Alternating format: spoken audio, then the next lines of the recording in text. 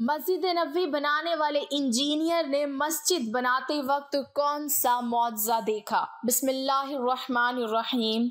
नाजरीन, आज हम बात करने वाले हैं उस इंसान की जो पेशे से एक इंजीनियर थे, जिन्होंने मुसलमानों की सबसे मुकद्दस दो मस्जिदें, जिसे हम मस्जिद नबी और मस्जिदुल हराम के नाम से जानते हैं। इसको तामीर किया, यानी बनाया उनका नाम है मोहम्मद कमाल इस्माइल। मस्जिद नबी को बनाने वाले इंजीनियर मोहम्मद कमाल इस्माइल ने मस्जिद बनाते वक्त ऐसा क्या मुआवजा देखा जिसने सबको हैरान कर दिया था? मस्जिद हराम और मस्जिद नबी को दोबारा कैसे तामीर किया गया था और उस दौरान कौन सा मुआवजा पेश आया? तो ये जानने के लिए वीडियो को पूरा ज़रूर देखिएगा। तो सबसे पहले आज जो मस्जिद हराम और मस्जिद नबी का खूबसूरत नक्शा जो आप देखते हैं, उसे तामीर करने वाले डॉक्टर मोहम्मद कमाल इस्माइल के बारे में थोड़ा सा जान लेते हैं। मोहम्मद कमाल मिस्र के रहने वाले थे, जो खबरों की दुनिया से दूर रहना पसंद करते थे, जिसके बारे में बहुत से लोग नहीं जानते थे। डॉक्टर मोहम्मद कमाल इस्माइल मिस्र की तारीख में हाई स्कूल की डिग्री हासिल करने वाले सबसे कम उम्र के शख्स थे। डॉक्टर मोहम्मद कमाल इस्माइल की पैदाइश 1908 में हुई और 2008 में उनका इंतकाल हुआ। और मिस्र के पहले रॉयल स्कूल ऑफ़ इंजीनियरिंग में दाखला लेने वाले और वहाँ से डिग्री हासिल करने वाले सबसे कम उम्र के शख्स थे। डॉक्टरेट की डिग्री हासिल करने के लिए यूरोप भेजे जाने वाले सबसे कम उम्र के आदमी थे। ये पहले इंजीनियर थे जिन्होंने हरामीन शरीफीन की तामीर और डिज़ाइन करने का कॉन्ट्रैक्ट साइन किया। किंग फहाद और बिन लादेन कंपनी की कोशिशों के बावजूद उन्होंने अपनी इंजीनियरिंग डिज़ाइन और आर्किटेक्चर निगरानी के लिए एक पैसा भी लेने से मना कर दिया। जब डॉक्टर मोहम्मद कमाल इस्माइल ने लाखों का चेक लौटाते हुए बिन लादान से कहा, मुझे दो मुकद्दस मस्जिदों में काम करने के लिए पैसे क्यों लेने चाहिए? अगर मैं ऐसा करता हूँ तो मैं आखिरत में अल्लाह ताला को क्या मुँह दिखाऊँगा? इसीलिए उन्होंने एक पैसा भी अपने काम का नहीं लिया। नाजिन आप देख सकते हैं मस्जिद हराम का कंस्ट्रक्शन की कीमत उस वक्त भी 100 बिलियन डॉलर से ज़्यादा आई थी। तो डॉक्टर मोहम्मद कमाल इस्माइल अगर चाहते तो कितना पैसा कमाते? लेकिन उनका ईमान देखो, उन्होंने एक पैसा भी लेने से इनकार किया। उन्होंने चवालीस साल की उम्र में शादी की, उनकी बीवी ने एक बेटे को जन्म दिया। दिया और उनकी बीवी का इंतकाल हो गया। इसके बाद वो अकेले रहे और मौत तक अपना पूरा वक्त अल्लाह की इबादत में लगाते रहे। उन्होंने सौ साल की उम्र पाई और पूरे सौ सालों में वो मीडिया, अखबार और बहुत सारी सुर्खों से गुमनाम रहकर दो मस्जिदों की खिदमत में उन्होंने वक्त गुजारा।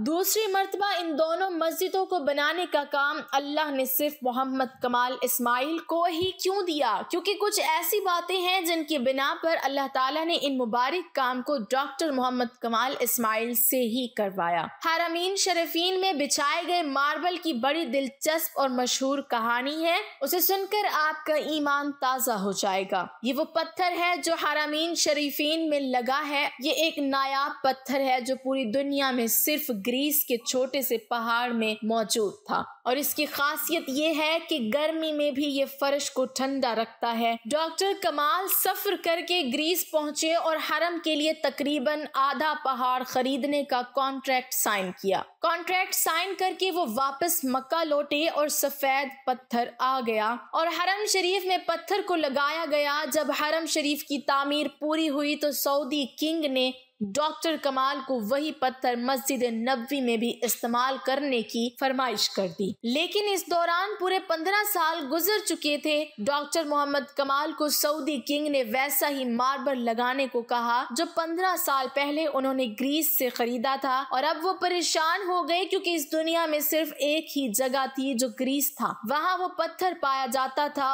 और चूँकि आधा पहाड़ तो वो पहले ही खुद खरीद चुके थे। डॉक्टर कमाल बताते हैं कि वो उसी कंपनी के सीईओ के पास गए, उनसे मिले और मार्बल जो बाकी थी उसके बारे में पूछा। तो चीफ एग्जेक्टिव ऑफिसर ने बताया कि वो मार्बल तो हमने आपके जाने के बाद ही बेच दिया था। अब तो पूरे पंद्रह साल हो गए हैं ये बात सुनकर डॉक्टर मोहम्मद कमाल बहुत परेशान हो गए और मीटिंग छोड़कर जाने लगे। तो वहाँ मौजूद ऑफ़िस सेक्रेटरी से मिले और गुजारिश की कि मुझे इस शख्स का पता बताओ जिसने बचा हुआ तमाम मार्बल खरीदा था। तो उसने कहा कि बहुत पुराना रिकॉर्ड तलाश करना बहुत मुश्किल होता है, लेकिन आप मुझे अपना फ़ोन नंबर दे दीजिए, मैं तलाश करने की कोशिश करती हूँ। उन्होंने अपना फ़ोन नंबर और अपने होटल का पता दिया और अपने होटल वापस आ गए।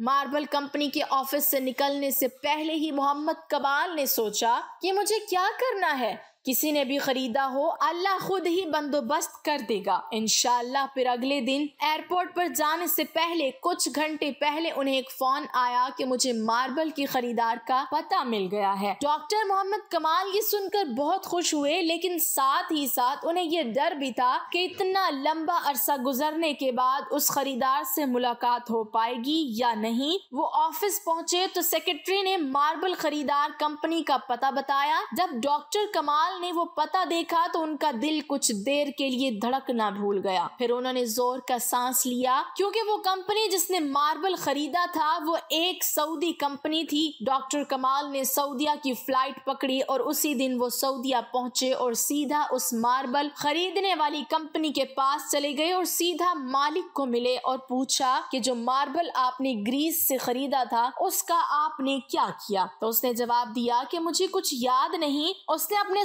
डिपार्टमेंट से बात की और उनसे पूछा कि वो सफ़ेद मार्बल जो यूनान से मंगाया गया था, वो कहाँ है? तो स्टोर वालों ने कहा कि वो सारे मार्बल मौजूद हैं और उसको कभी इस्तेमाल ही नहीं किया गया। ये सब सुनकर डॉक्टर मोहम्मद कमाल इस्माइल एक बच्चे की तरह रोने लगे और कंपनी के मालिक को पूरी कहानी सुनाई और डॉक्टर कमाल ने कंपनी के मालिक को ब्लैंक चेक दिया और कहा कि इसमें जितनी चाहे उतनी रकम भर लो और मार्बल मेरे हवाले कर दो। फिर कंपनी के मालिक को पता चला कि ये तमाम मार्बल हमारे प्यारे नबी हज़रत मोहम्मद मुस्तफ़ा सल्लल्लाहु अलैहि वसल्लम की मस्जिद नबी में इस्तेमाल होने जा रही है तो उसने कहा कि एक पैसा भी नहीं लूँगा। अल्लाह ने ये मार्बल मुझसे खरीदवाया और मैं इसको भूल गया। इसका मतलब यही था कि ये मार्बल मस्जिद नबी में ही इस्तेमाल होना था। ये वो मस्जिद नबी है जिसकी तामीर हज़रत मोहम्मद वसल्लम ने खुद अपने मुबारक हाथ हाथों से की थी। ये वो जगह है जहाँ आप सल्लल्लाहु अलैहि वसल्लम की ऊंटनी रुकी थी और उसकी एक एक ईंट खुलफाए राशिदीन हज़रत अबू बकर सिद्दीक और हज़रत उमर रज़ी अल्लाह ने अपने हाथों से रखी थी। वो कितने खुशकिस्मत लोग हैं जिनको अल्लाह ने अपने दो मुकदस मकाम की तामीर के लिए चुना, जहाँ तमाम मुसलमान हर जगह के, हर देश के, हर इलाके के मुसलमान इस जगह आकर एक हो जाते हैं। अल्लाह पाक मोहम्मद कमाल इस्माइल को को जन्नत में आला मकाम अता फरमाए और उनके दराजात बुलंद फरमाए। आमीन। नाजरीन, हिजरत के बाद रसूलुल्लाह सल्लल्लाहु अलैहि वसल्लम ने सबसे पहले एक मस्जिद की तामीर फरमाई, जिसको आज मस्जिद नबी के नाम से जाना जाता है। इसके लिए वही जगह मुंतखब की गई थी, जहाँ हजूर सल्लल्लाहु अलैहि वसल्लम की ऊँटनी बैठी थी। ये ज़मीन बनु नज्जार के दो यतीम बच्चों की थी, जिसको आप सल्लल्लाहु अलैहि वसल्लम ने कीमत देकर कर खरीद लिया था। इसकी तामीर में सहाबा किराम के साथ आप सल्लल्लाहु अलैहि वसल्लम भी पत्थर उठाते थे। सहाबा किराम जोश में ये अशार पढ़ते थे और आप सल्लल्लाहु अलैहि वसल्लम भी उनके साथ आवाज़ मिलाते और ये पढ़ते जिसका तर्जमा ये है, ए अल्लाह, असल उजरत तो आखरत की उजरत है। ए अल्लाह, अंसार मुहाजरीन पर रहम फरमा। ये मस्जिद इस्लाम की सादगी की सच्ची तस्वीर थी। इस मस्जिद के तीन दरवाजे बनाए गए थे। दरवाजे दरवाजे के दोनों पाए पत्थर के और दीवारें कच्ची ईंट और गारे की बनाई गई थी। सतून खजूर के तनों और छत खजूर की शाखों और पत्तों से तैयार की गई थी। किले की दीवार से पिछली दीवार तक सौ हाथ की लंबाई थी। ये मस्जिद सिर्फ़ नमाज़ अदा करने के लिए ही नहीं, बल्कि इस्लामी तालीम के लिए एक दर्सगाह और दावत तबलीग और दुनिया के सारे मसाइल को हल करने के लिए एक मरकज भी थी। इसके इमाम अल्लाह के नबी सल्लल्लाहु अलैहि वसल्लम और इसके नमाजी सहाबा कराम जैसी मुकद्दस हस्तियाँ थी। सुबहान अल्लाह अल्लाह पाक हमें इन मुकद्दस जगहों की जियारत नसीब फरमाए और हमें इन्हीं की तरह नेक आमाल करने की तोफीक अता फरमाए। आमीन। नाजरीन, कमेंट बॉक्स में अल्लाह ताला के निन्यानवे नामों में से एक नाम ज़रूर टाइप करें।